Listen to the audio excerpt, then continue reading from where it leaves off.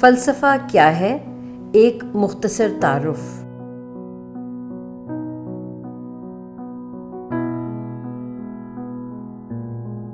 फ़लसफ़ा, हकीकत की नोयत, इंसानी वजूद, इल्म, अकदार और जमालियात के बारे में बुनियादी सवालात के मुताले का नाम है।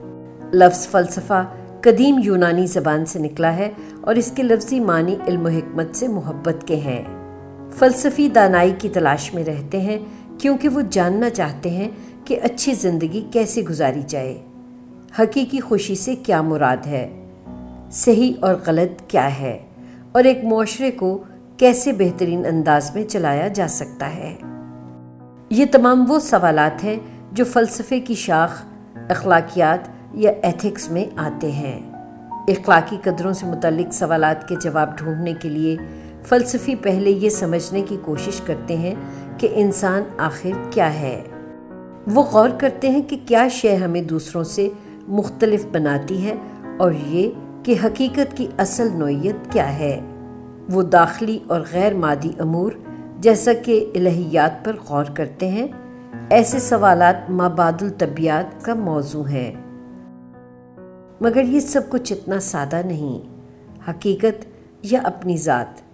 या क्या सही है और क्या गलत। इन सब के बारे में कोई इल्म रखने का दावा करने से पेशतर फ़लसफ़ियों को ये खोज लगानी पड़ती है कि हकीकी इल्म क्या है और ये कि हकीकी इल्म और राय में क्या फ़र्क है। फ़लसफ़े की इस शाख को इल्मियात या एपिस्टिमोलॉजी का नाम दिया जाता है। अगरचे साइंस अपने हवाले से कई जवाब दे चुकी है। फिर भी फ़लसफ़ा उन मसाइल के बारे में बहस करता है जिनके बारे में हम सब किसी न किसी वक्त गौर करते रहे हैं। मसलन, एक अच्छी ज़िंदगी कैसे बसर की जाए? या इस दुनिया में दूसरे लोगों से कैसे ताल्लुक़ रखा जाए? वगैरह। ये ऐसे सवालात हैं जो हर दौर में हमारी सोच का मरकज रहते हैं। कदीम दौर से लेकर दौर जदीद तक, इन जैसे सवालात पर मुख्तलिफ़ अंदाज में गौर किया गया है। इस हवाले से सुकरात के शागिर्द अफलातून का काम अहमियत का हामिल है। वो अपनी किताब द रिपब्लिक में मिसल का नज़रिया या थ्योरी ऑफ़ फॉर्म्स पेश करते हुए कहता है कि ये दुनिया हकीकी नहीं, बल्कि हकीकी दुनिया का एक अक्स है।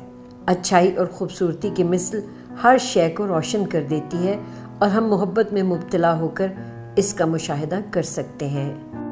अफलातून के शागिर्द अरस्तु ने माबादुल तबियात में दुनिया के बारे में एक लतीफ़ नज़र सानी शुदा नज़रिया पेश किया, जिसके मुताबिक अशिया, मादे और मिसल दोनों पर मुश्तमिल होती हैं और इनमें रूनमा होने वाली तब्दीलियों को इससे समझा जा सकता है कि आया वो दुरुस्त हालत इख्तियार कर रही हैं या कि अपनी हालत खो रही हैं।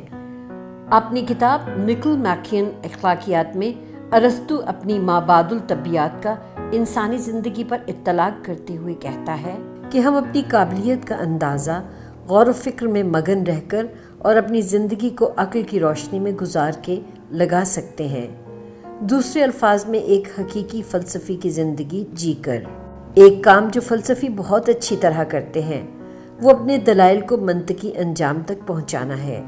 ये अंदाज अपनाने से हम इस जाविया नज़र को तब्दील कर सकते हैं, जिससे हम दुनिया को देखते हैं। इमानुअल कांट ने अपनी किताब तनकीद बर अक्ल महज, यानी क्रिटिक ऑफ़ प्योर रीज़न में कहा कि हमारा दुनिया के बारे में जानने का इन्सार किसी हद तक हमारे दिमाग के काम करने पर है। कांट का इसरार है कि हम ये नहीं जान सकते कि दुनिया अपनी असल में क्या है। इस ख्याल को हैगल ने अपनी किताब द फिनोमेनोलॉजी ऑफ़ स्पिरिट में रद्द करने की कोशिश की। दूसरे फलसफियों ने वजूद की हकीकत समझने में खुद को वक्फ कर दिया। मसलन ये सवाल कि क्या मेरा वजूद महज मेरा जिस्म है या इससे बढ़कर कुछ? डिस्कार्टस ने अपनी किताब मेडिटेशंस में दिमाग और जिस्म के बाहमी ताल्लुक पर बात करते हुए ये नतीजा अखज़ किया कि ये दोनों मुकम्मल तौर पर अलग अलग चीज़ें हैं। सनवियत या ड्यूलिज्म का तस्वुर जिस पर फ़लसफ़ी आज भी बहस कर रहे होते हैं, को गिलबर्ट रॉयल ने अपनी किताब द कॉन्सेप्ट ऑफ़ माइंड में भरपूर तरीके से चैलेंज किया। फ़लसफ़े का मुताल मुबाहस को जन्म देता है, मगर इससे हम इंसानी हालत की बेहतर तफहीम कर सकते हैं।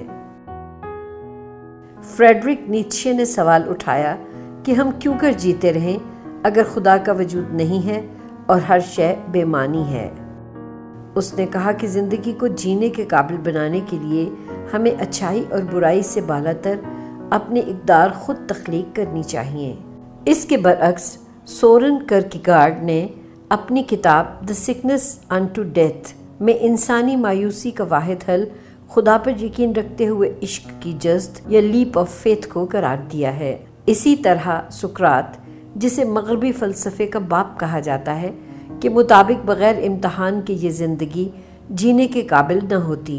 इस वीडियो में हमने चंद अजीम फ़लसफ़ियों के नज़रियात का मुख्तसर जायज़ा लिया है। उम्मीद है इससे आपके लिए सीखने और गौर फ़िक्र करने के इम्कान रोशन हुए होंगे।